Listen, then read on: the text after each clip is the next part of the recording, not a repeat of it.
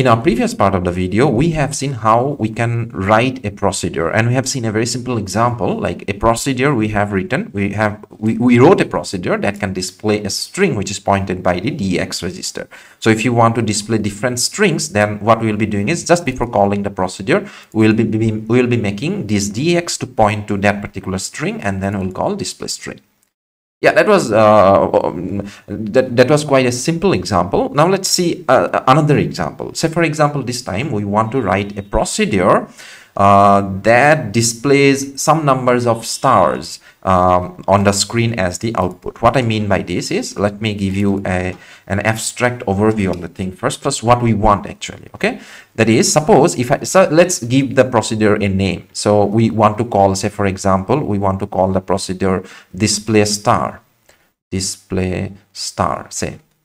Just consider we have a procedure whose name is display star.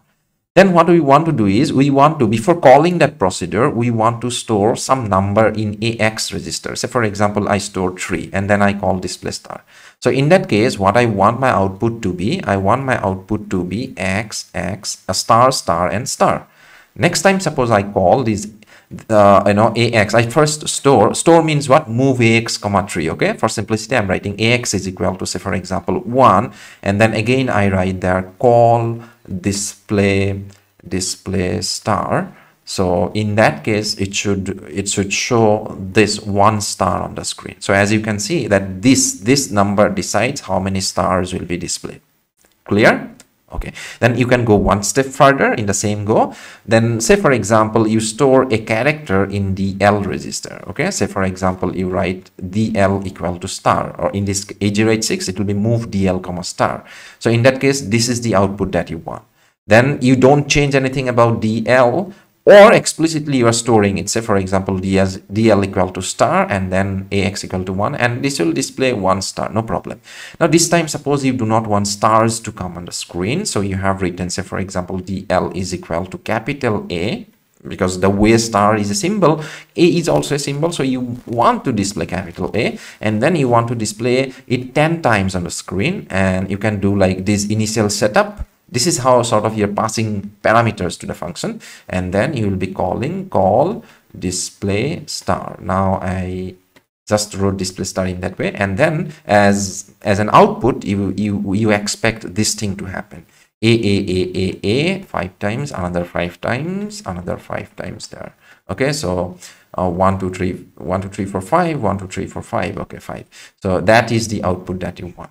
Got the point so this is the sort of the requirement. Now let's see how we can actually write it in 8086. Okay. Okay then, let's begin.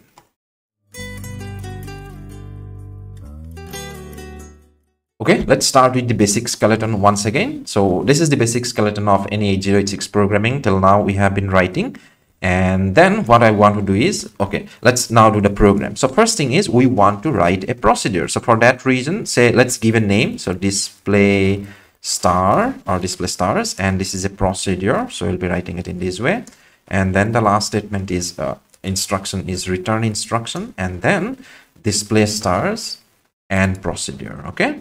So this is the basic skeleton you will be you will be starting with. Done. Your basic is ready. Now what we want is we want this display procedure to assume like now this is uh, comments again i'm writing. So assume assume number of times number of times in ax and we'll also assume the character character to be displayed character to be displayed displayed is in DL register okay? Suppose this is our assumption and then we are ready to go. Now see how many times we want to we want to display the that particular character whatever it is there in DL as many times know the value of ax register. So you can use loop and you know you can write loops in many different ways. So i'll be directly using the loop instruction. So for that reason what i want is actually i want my counter to be there in cx register. So for that reason i'll be copying ax to cx okay? I want like cx is the default counter for loop instruction since i'm going to execute loop uh, that's why i'm writing instruction in short way okay so that's why I'm, I'm i'm storing first whatever it is the number of times that you store in cx once it is done uh, I guess it's very simple now. So what you have to do is you want to display one one character at a time. So when you want to display character on the screen, the first thing that you have to do is you have to store the character in DL register. And we already know that the character is in DL, so no need to worry about it. And then we have to make use of interrupt service routine. So to display a character, first thing is we have to store 02H in AH register. Okay, that's how we do the thing. And then we have to call int 21H. That's all and that will display a character or whatever the character it is there in DL on the screen.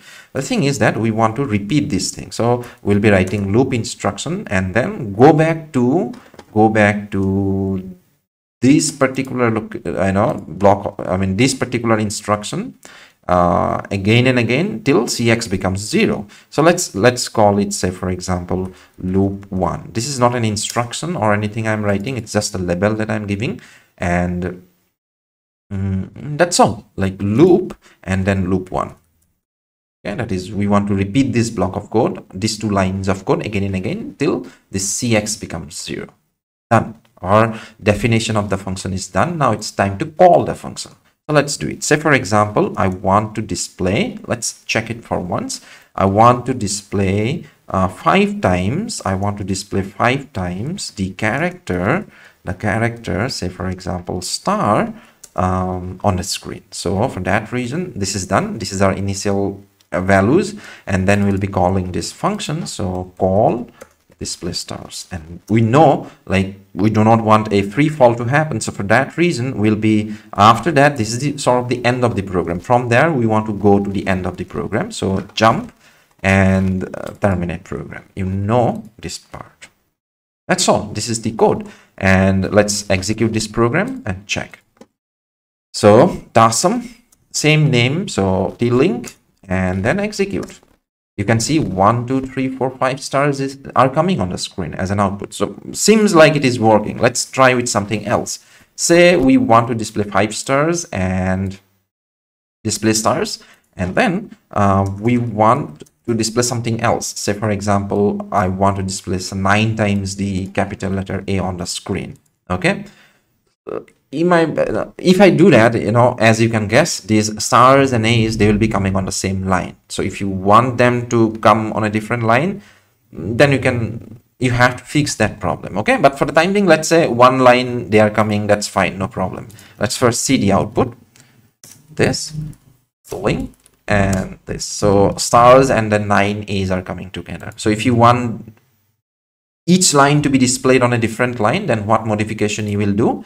You will do like okay you'll repeat through the process but before returning after coming out of the loop before returning you want to display a new line character like display a new line new line character. Like it will always happen say. No matter what's what character how many times you're displaying at the end of the day it will always bring the cursor to the beginning of the next line. And how do you do that? So for that reason it will do like uh, that's all. I mean i just want to display a specific character on the screen. That's all. And what is that specific character? That i want to store in dl and that specific character is the character whose ascii code is 10 so that's how i think our problem will be solved. Let's see. Let's see. Let's see uh, this this this. Now see stars and a's they're coming on different lines. And also we can now control. Like see here with these these values there like with the help of these ax and dl register actually we can control the output of uh, the the function display stars. Okay guys then that much only. If you have understood up to this point i think people got the idea about procedures. In the next part of the video we'll be seeing how to display how to write a procedure that will display a number on the screen. We have seen in our part 14 and 15 like in general how to display a number on the screen maybe unsigned number maybe signed number. That part we have seen. We have understood the logic.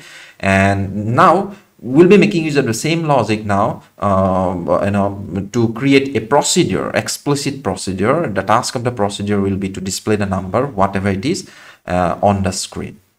All right okay then guys that much only in this part of the video. See you guys with some with that content in the next video. Have a nice day